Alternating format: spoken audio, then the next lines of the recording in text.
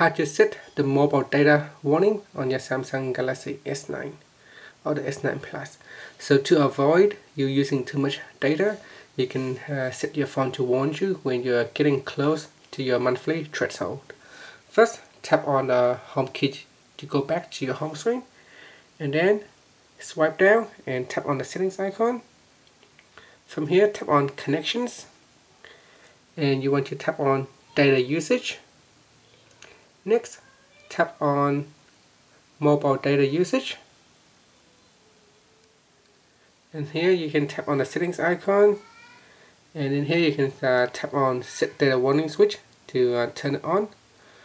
Then down here you can uh, tap on data warning and uh, depending on your monthly uh, mobile data allowance so you can uh, choose so for example if you have um, a maximum of uh, 2 gigabyte each month.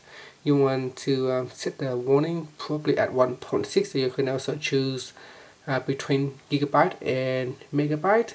So you can choose let's say 1500 megabyte which is the same as 1.5 gigabyte. So tap on set. So it's around 1.46 gigabytes so now every um, time that your phone reach this uh, amount your phone will warn you that you are getting close to the limit and that you may want to um, be careful with, with how you use your mobile data. Finally, you can tap on the home key to go back to your home screen.